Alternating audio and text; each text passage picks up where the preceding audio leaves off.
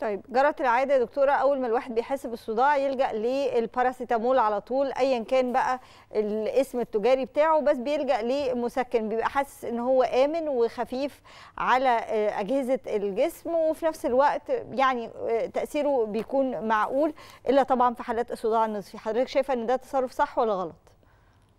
تصرف غلط جدا لأنه الإكثار من اولا الباراسيتامول هو مادة ضعيفة جدا للصداع. سواء الصداع النصفي أو العنقودي أو ايا كان نوع الصداع. فمش صح إن أنا ألجأ للباراسيتامول.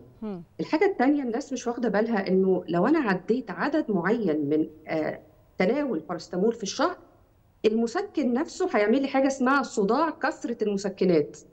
مم. يعني الباراسيتامول اللي حضرتك هتاخديه بدون آه سبب أو إن أنا بحاول أوقف نوبة قوية مش هتقف الاكثار من الباراسيتامول هو نفسه يعمل صداع كثرة المسكنات. فعشان كده بنقول للناس لا في أنواع لكل نوع من الصداع كمسكن اخده بجرعة مظبوطة وفي وقت مظبوط من بداية النوبة.